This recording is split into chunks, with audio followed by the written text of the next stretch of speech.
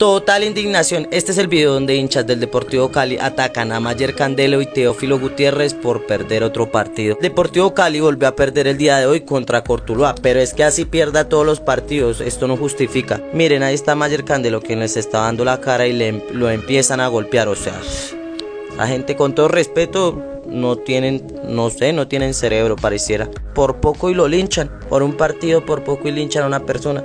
Y ahí está como golpean al jugador Teófilo Gutiérrez. Pero ¿y ustedes qué opinan? A mi parecer es una completa bobada.